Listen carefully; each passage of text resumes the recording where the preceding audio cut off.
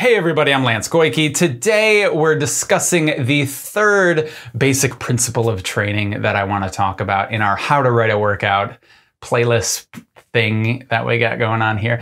And this third principle is individuality. And that just means everybody's different. So, uh, you know, in our first video, I kind of talked about how writing programs can be really complicated if you're a trainer and you work with a bunch of different types of people. Like some people have autoimmune diseases, some people don't sleep very well, some people are very type A, some people are naturally lean and muscular, some people are naturally not. Um, everybody kind of responds to things differently. Everybody requires a different diet, uh, responds to different exercise reps and everything differently.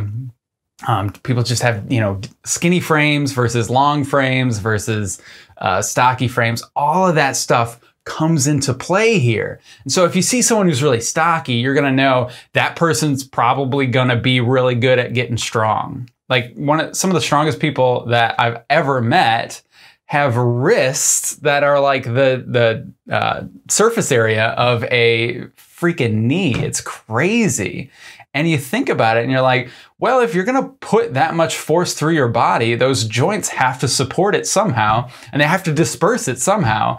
And so with my my frail little nerd frame, like my soft tissue is going to buckle, but you give that that type of broad area to somebody who's 360 pounds and yeah that's how they can be 360 pounds and live comfortably or kind of comfortably throughout the day uh, and that's how they can squat a thousand pounds because they have that surface area to disperse forces.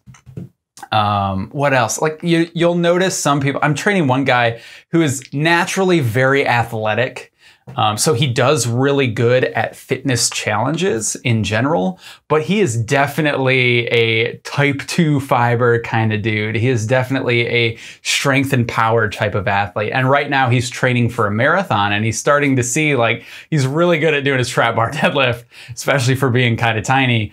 Um, and his his marathon times are very respectable.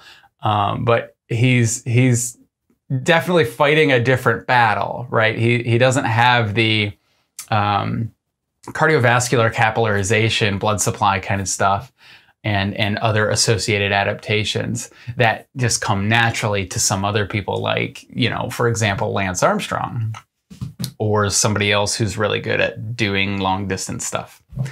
Um, I think that's it. That's, you know, individuality, everybody's different. That's how we summarize things. Make sure that if you do end up writing programs, not just for yourself, but for other people as well, make sure you take that into account.